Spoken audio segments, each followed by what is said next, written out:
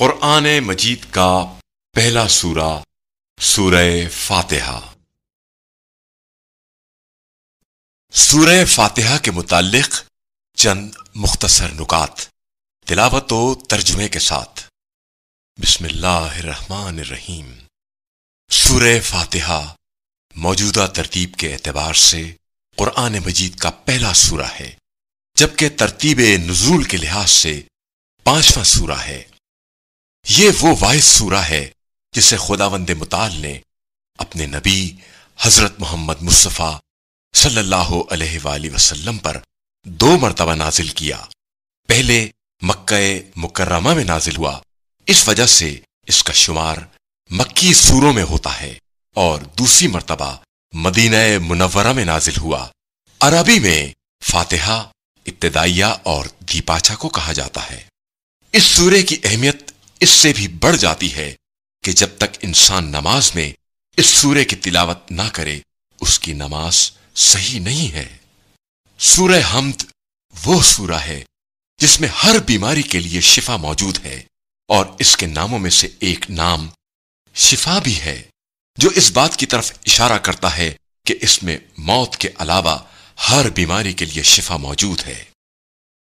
آیت نمبر تین میں رحمان سے مراد اللہ تعالی کی عام رحمت ہے، جو دوست و دشمن، مومن و کافر سب کے لیے ہے۔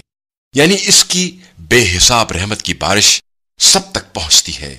رحیم سے مراد اللہ تعالی کی خاص رحمت ہے، جو اس کے متی سولے اور فرما بردار بندوں کے ساتھ مخصوص ہے۔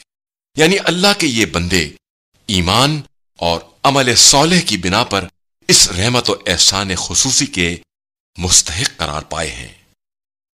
آیت نمبر پانچ میں اللہ ہی کی عبادت عبادت اور اسی سے مدد طلب کرنے کا ذکر ہے۔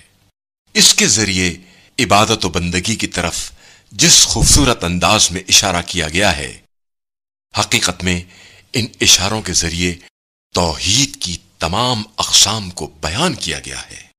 اس سورے میں خدا کی حاکمیت کی بنیاد رحمت پر ہونا، عبادت و پرستش اور مدد کا لائق صرف اللہ کا ہونا، خدا کے برگزیدہ بندوں پر اس کے انعام کا نازل ہونا اور گمراہ بندوں پر خدا کے غضب کے نازل ہونے کا بیان موجود ہے۔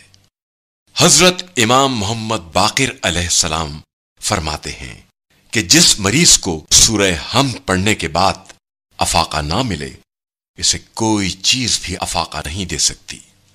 اعوذ باللہ من الشیطان الرجیم۔ پناہ مانگتا ہوں میں اللہ کی شیطان مردود سے۔ بسم اللہ الرحمن الرحیم۔ شروع نام سے اللہ کے جو بڑا مہربان نہایت رحم کرنے والا ہے۔ الحمد للہ رب العالمین۔ ساری تعریف اللہ کے لیے ہے جو عالمین کا پالنے والا ہے۔ الرحمن الرحیم۔ وہ عظیم اور دائمی رحمت والا ہے۔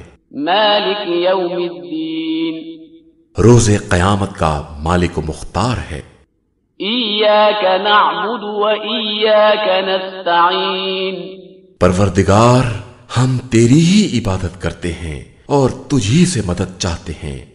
اہدنا الصراط المستقیم ہمیں سیدھے راستے کی ہدایت فرماتا رہ صراط الذین انعمت علیہم غیر المغضوب علیہم ولا الضالین جو ان لوگوں کا راستہ ہے جن پر تو نے نعمتیں نازل کی ہیں ان کا راستہ نہیں۔